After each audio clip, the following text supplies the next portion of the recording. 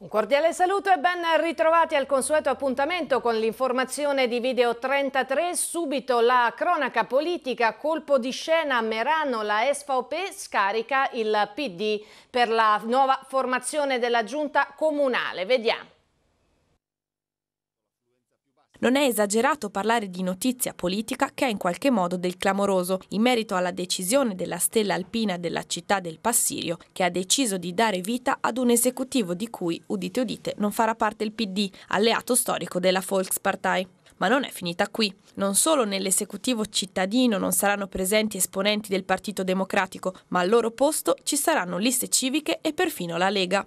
Questo è il verdetto del direttivo dell'SVP di Merano, che ha detto no alle richieste venute dal segretario del Partito Democratico Antonio Frena. Cristallino ed esplicativo il commento dell'Obman della SVP della città del Passirio, Anton Gögele. Con il loro atteggiamento, ha detto il segretario della Volkspartei meranese, il PD e i Verdi non ci hanno lasciato scelta. Di qui la decisione del direttivo meranese della SVP di dare vita ad una maggioranza assieme alle due liste civiche, quella di Giorgio Balzarini e quella di Carmelo Genovese, con l'appoggio esterno della Lega Nord. In questo modo, ha detto il sindaco di Merano, Günther Janut, la governabilità sarà garantita.